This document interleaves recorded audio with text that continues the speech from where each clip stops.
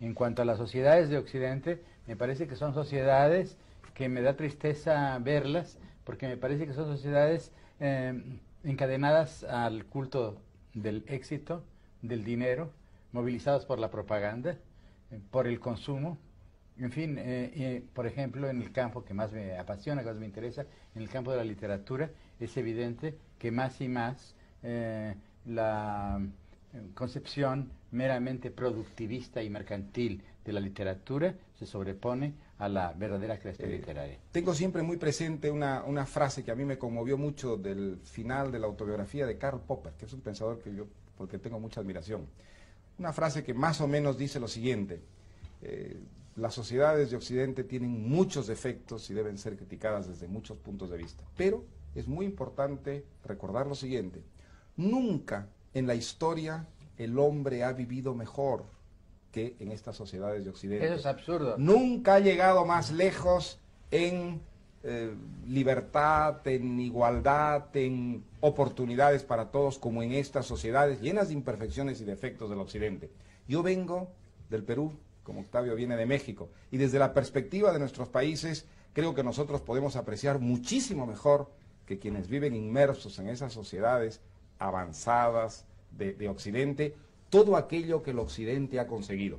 De ninguna manera ha alcanzado el paraíso, yo estoy seguro que el paraíso no se puede alcanzar, que por lo tanto esas sociedades deben seguir progresando y autocriticándose implacablemente.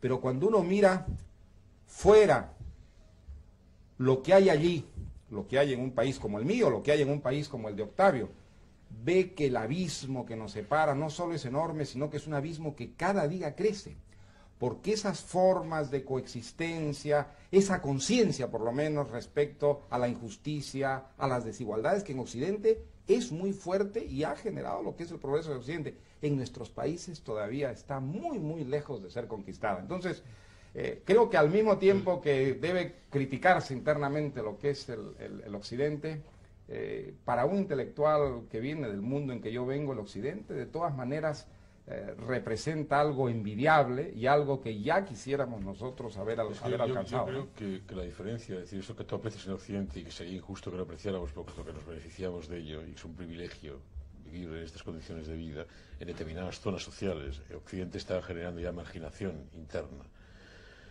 Se debe a que Occidente, lo que llamamos Occidente, explota no sé qué.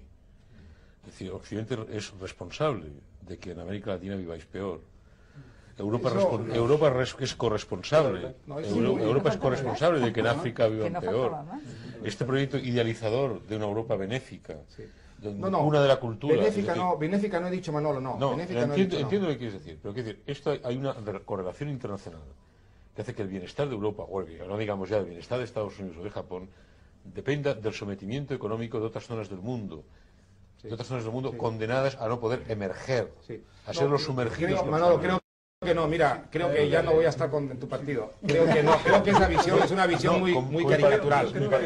Simplemente todas las civilizaciones poderosas han explotado a las débiles, las han invadido, las han saqueado, las han colonizado. Ese es un rasgo constante de la, de la historia. La única civilización que se ha autocriticado a ese respecto de una manera implacable, tanto que ha terminado cediendo lo que fueron sus imperios, eh, y es todavía capaz de producir intelectuales como tú, que la siguen criticando implacablemente cuando aún aquello no es verdad. La cita de Popper me escandalizó.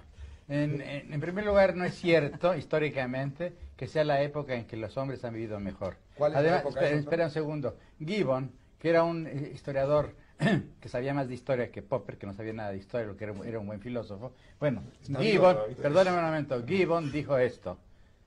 La época más feliz de la humanidad es la época, y lo escribía a fines del siglo XVIII, que es una de las épocas mejores que, que ha vivido Europa, mucho más civilizada que la actual. Evidentemente, entre la moral del siglo XVIII y la sociedad del siglo XVIII y la del siglo XX hay un gran abismo a favor del siglo XVIII. Por ahí empezamos. Pero no para, los, esclavos, segundo, no para dice, los esclavos del siglo XVIII. Dice de pronto, no había esclavos en el siglo XVIII en Europa, por Dios.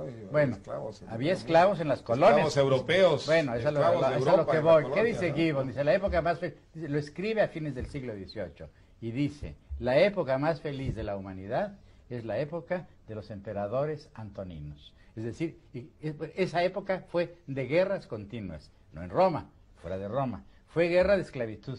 En el siglo XVIII, cuando escribe Gibbon, había esclavos y había déspotas ilustrados. Catalina de Rusia, Federico de Prusia, y había también en China y en Japón, dos países civilizados, también había déspotas ilustrados. El siglo XX, que a ustedes les gusta tanto, ha sido el siglo de las dos guerras mundiales, ha sido el, siglo de la guerra atómica, ha sido el siglo de los campos de concentración en, Alemania, el siglo de los campos de concentración en Rusia. ha sido el siglo en que se ha envilecido de un modo casi absoluto el amor, el erotismo, que se ha convertido el cuerpo en, un, en publicidad. ¿Cómo es posible que ustedes estén hablando solamente, son intelectuales, son escritores, son artistas, estén hablando del cuerpo? Y no piensen que el siglo XX y el capitalismo justamente ha envilecido al cuerpo. Incluso el deporte moderno ha envilecido al cuerpo. ¿Cómo es posible que ustedes olviden que moralmente la sociedad occidental actual, actual es abyecta? No ver esto es no ver realmente la realidad. Octavio, creo que estás hablando desde el punto de vista de la élite, Octavio. Estoy hablando desde el, punto de vista de la, historia. déjame déjame, déjame eh, hacerte otra enumeración. El siglo XX es el siglo de los derechos eh, de los derechos humanos, es del el, siglo del voto universal, es el siglo de la idea que el Estado tiene una responsabilidad en la salud, en la educación de las masas, eh, de los derechos de la mujer.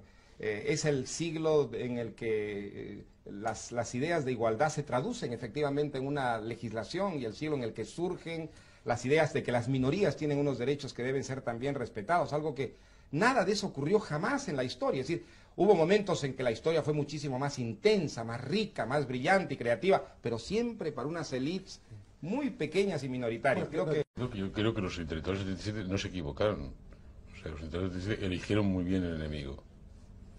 Lo que ocurre es que quizá simplificaron la cuestión y no vieron un, cuadro general de época, porque era una época que facilitaba las alienaciones por ejemplo, no supieron ver pues, los procesos de Moscú, no supieron ver la desaparición de Lenin, como dijo Semprún, no supieron ver todo eso, pero es que era una época en la que las expectativas de cambio eran tan fascinantes, tan tremendas, tan urgentes, que la, capacidad de alienación era muy superior a la que podemos tener en estos momentos. En estos momentos ser alienado sería un pecado, un pecado, y en cambio en el 37 yo creo que es un pecado disculpable. Y no se equivocaron en la elección del enemigo. El enemigo era Franco, el enemigo era Hitler, el enemigo era Mussolini. En ese sentido hay que hacerles un homenaje. Eh, acertar en la elección del enemigo es algo muy difícil en esta profesión. Pero algunos vieron claro, Manolo. Orwell, por ejemplo, que manifestó su solidaridad con la República de una manera muy resuelta, puesto que vino a España y peleó, ¿no es verdad? Fue a las trincheras. Yo tengo un gran respeto por, por los que perdieron dentro de los perdedores y Orwell y el POM. El POM es un partido que merece un respeto Pero déjame, terminar mi, mi, idea. Es decir, Orwell es un hombre que mostró una solidaridad, peleó, pero al mismo tiempo el entusiasmo, que era legítimo, no le impidió cumplir su obligación de intelectual, la obligación de pensar, ¿es verdad? La obligación de reflexionar frente al problema que tenía delante y creo que la grandeza de Orwell está justamente en haber sabido combinar, ¿no es verdad?, ese entusiasmo que lo llevó a las trincheras y detectar al enemigo en su complejidad, ¿no es verdad? Porque el fascismo era el enemigo, indudablemente, pero el otro era también una cara que con un nombre distinto representaba algo perfectamente equivalente al fascismo. Me parece un espléndido, evidentemente. Yo creo que cometió dos errores. Es que no entendió el país. Por ejemplo, hay un comentario suyo sobre el porrón el porrón. ¿Sobre el qué, perdón? ¿El porrón de vino? Es que es un comentario completamente inglés. Es decir, es un comentario de jugador de cricket que hace que, que, sospeches de que determinados elementos de lo cotidiano no acabara de captarlos. Ahora, lo fundamental, que fue su horror ante la brutalidad, eso lo captó. Por tanto, eso lo hemos de respetar, evidentemente. Ahora, por otra parte, era un hombre que tenía una óptica que, por ejemplo, yo no es que, las, no es que sea la crítica sea específicamente mía. Yo respeto mucho a un liberal norteamericano que es Trilling, Lionel Trilling, que es uno de los grandes teóricos de literatura y del pensamiento liberal norteamericano, que hace una sanción del Orwell que contempló la guerra española muy justa. Es decir, Orwell contempló la guerra española con una distancia olfativa. Es decir, para Orwell la guerra española, la guerra civil española era una, era una guerra casi de tercer mundo. Es casi una distancia olfativa que muchos intelectuales europeos en estos momentos podrían tener ante un problema marroquí o libanés o de otro lugar. Bueno, yo no creo, ¿eh? bueno, yo no, bueno, creo y no creo. Sí creo que los, que no nos equivocamos en 37, que escogimos bien nuestros enemigos, pero que no escogimos bien nuestros amigos, o que mejor dicho, fuimos ciegos Es que no delante pudieron- de los amigos. no era pudieron- muy no difícil. pudieron elegirlo. de acuerdo, era muy difícil. No, sí podíamos elegir, porque Orwell escogi- eh, eh, escogió, pero no fue, además no fue el único, perdón, no fue el único, hubo muchos. En primer lugar hubo toda la, hubo la gente del PUM, hubo los anarquistas, hubo mucho- mucha gente que luchó con las armas en la mano también y que fueron exterminados físicamente. Pero aparte de eso, hubo del otro lado también eh, escritores como Bernanos, que estuvo del lado de Franco y ante los crímenes del franquismo se levantó y no tuvo escrúpulos en escribir ese libro Los grandes cementerios bajo la luna. O bien la escritora francesa Simone Weil, que también denunció, de modo que no solamente Orwell, personaje en muchos aspectos admirable y que además es, es verdad que tiene una mirada muy inglesa, muy insular, pero eso es un, diríamos un defecto de nacimiento de los Un ingleses. adorno, ¿no? un adorno. ¿Cómo? Yo diría que tuvieron otro aliado importante y que no marcó tantas distancias ante el asunto, que fue Bergamín. Bergamín era católico, un señorito católico, como lo llama Foxá en Madrid de corte checa, y que jugó claramente con los republicanos y que tenía una mirada católica de la República y que tenía una mirada católica del compromiso. Bueno, yo diría que tenía una mirada jesuítica, porque realmente es Es- uno de los es que justificó. hizo- eh, yo admiré al escritor Bergamín, pero lamenta- lamenté siempre sus Si hablamos- debilidades, si hablamos- como ese prólogo terrible de Bergamín, sí. eh, en, en- en- en que se acusa a, a los, a la gente del PUM de agentes de agente de Hitler, Franco, por ejemplo.